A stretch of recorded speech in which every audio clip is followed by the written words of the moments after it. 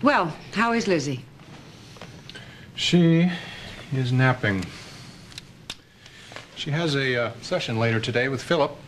Did you want to, um, No, I don't want to disturb her. No, no, no. I'm sure that sleep is the only time she gets any real peace.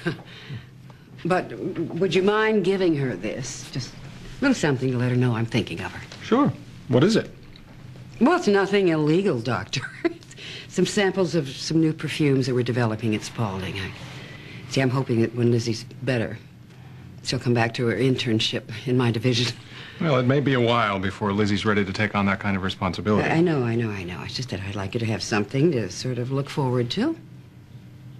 Oh, and if she asked about the name, it's TBA. okay. Because, well, we're, we're calling it Bad Girl, but I wouldn't want Lizzie to get the idea she inspired that title. Uh, no. Well, that's something we wouldn't want. No. Ah, Phillip. Phillip, I was just dropping off something for Lizzie. That's fine. Excuse me. Well, at least it's good that we're all coexisting peacefully now, huh? What are you talking about? Well, I mean, there was a time when you'd have me thrown out of the house. I know. I know how much you love Lizzie. And how much I dislike Olivia, yeah. Well, I heard about a disappearing act. See, if I were you, I'd be looking for someone to blame, and maybe that, uh, maybe that person would be me.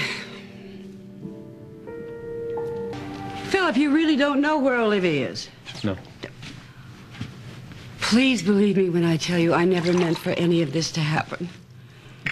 You've wanted Olivia gone from the time you met her. Well, not while she was carrying your child, and certainly not like this. I know, and it was all to save the family. I, I know, I know, I know. And I've, I've heard it all before. But Phillip, please, I am so sorry. I take complete responsibility for my part in this. in the name of this family that I will never understand and never be able to condone. Some of them have made me want to turn my back on you for good. Some of them like this?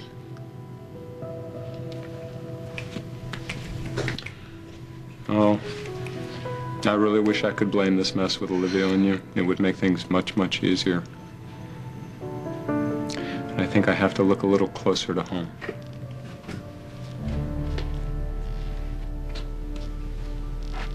Well, no, you're right. I don't understand. I, I don't understand how you can possibly have no leads. She should be extremely easy to spot. She's very pregnant.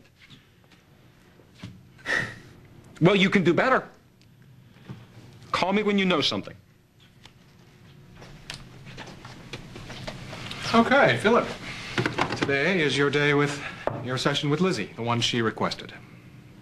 Yeah, I, I know. I, I didn't forget. I just, um, I have a watch. I, uh, I don't remember the last time I did that. Daddy, it's okay if you don't want to. It's all right. I know you've been really busy. Honey, no, no. I, I always have time for you. No, come on. Let's let's let's do it. Okay, now I know that you've had a session once before, but now that we understand a little more about what we're dealing with, I'd like to handle our time together a little differently. So, why don't we just open it up to both of you and see what happens? Uh, well, the last time I listened to Lizzie and, and then I responded. Great. Maybe today you'd like to start. Or not. There are no rules. Translation is he's just gonna sit there until you say something that actually means something.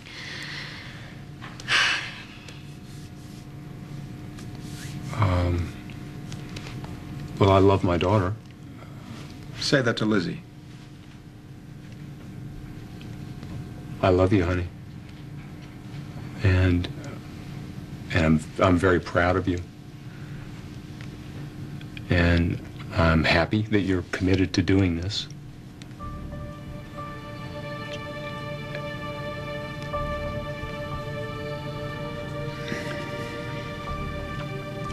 There's, you know, there's a lot that's happened since the last time we did this. I'm not sure where to begin. No, it's all right, Dad. You don't have to do it.